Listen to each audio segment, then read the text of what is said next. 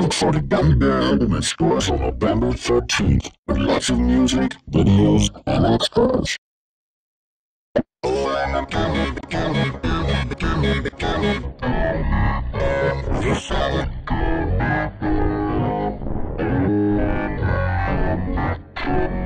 Oh,